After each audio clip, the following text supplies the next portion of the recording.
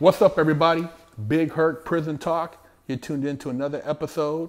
I'm here with the homie Mannchester from Inglewood, and you guys always ask me a lot of questions, so I like to get these answers from a different perspective. And one of the things I want to ask him is since you've been home and having um, to overcome all the adversity of being an ex-felon with a record and, and you know trying to be successful, what's one of the uh, what was one of the hardest things or things you felt were the most challenging, and how was you able to overcome that challenge? Um, probably the hardest challenge really was myself.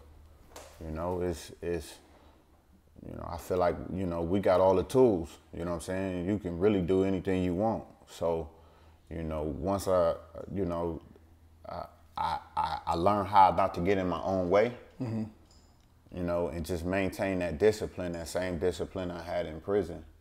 You know mm-hmm. what I'm saying? To, to, to, to translate into my day to day life on the streets. So, you know, overcoming it was like, you know, getting out of my own way to where it's like, okay, I gotta do this because I gotta go get a job mm-hmm. because I'm supposed to, instead of, well, you can start your own business. You can generate, you know, income for yourself. You can drive Uber, you can do Postmates, you can, mm-hmm. you know, it's a plethora of things you can do. You mm-hmm. know what I'm saying? So when I got out my own way, it's just like, go.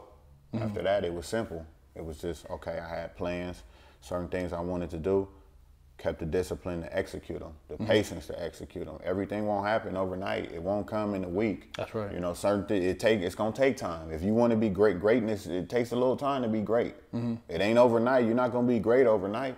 You're not gonna be Warren Buffett overnight. You want to amass a billion dollars overnight. It just don't happen that way. right. But that don't mean you're not a good businessman. That don't mean you don't have the intelligence to get there. You just gotta have the patience it takes and the discipline to get there. Mm-hmm. So, And one of the things, having heard your story, that I think that is key is that you were already mentally kind of prepared. You went to school in there. You were already kind of dialed in with different business ideas you had, and that was one of the things that helped me because I had a whole journal of different ideas, and like I never, you know. Um, to be honest with you, I never looked at nine to five either. I'm like, man, I'm gonna make it happen. And so my mentality was already, I'm out on the street, and if I was out there, what would I be doing? Where a lot of people, you know, they don't prepare their minds, and that's one of the key things I think that's so important is having the mentality to have something to reflect on when, before you even get out. Absolutely. You know, you can't get out and be like, oh shit, I'm out now. What you I'm know? gonna do. You know what I mean? Like the whole time you was in there playing dominoes and watching sports and gambling, doing all this stuff, and you weren't really geared up to where you you you, you know you were in play. You know, you got to be ready to go and play anytime. It's like you like you said, you were already preparing yourself as though you were already here. Yeah, absolutely. You got to speak things into existence and, and believe it. If you put it into the universe and you believe it, it can come true. And what about those people who you know who want to cry the blues and play the victim? They gon' that's that's standing in your own way. You know that that was what I mean about you know getting out of my own way, really looking in the mirror and saying like, nah, it's about you. If they tell you no, so what? Create your own job. That's right. Oh, I can't find a job. I can't. Why? Create your own. Yeah. You know what I'm saying? Why are you asking them? Why are you asking them? If that's the case, lean on your own greatness, lean on your own understanding, and go. So that means you standing in your own way because you don't even believe you're intelligent enough to generate, you know what I'm saying, legal revenue for yourself. That's right.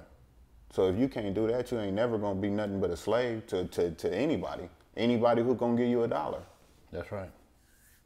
And and that's one of the biggest things I always tell people, man, is you know quit begging and create. You know, and he he's perfect example. Did 14 over a decade, got out. This man running his own business, man. What's your excuse? that's what I thought. You don't have one. you know what I mean? He's he's making it happen. So um, you know, check out this man's social media. Um, subscribe to the channel. And uh, this is Big Herc with uh, Mannchester from Inglewood. Prison Talk.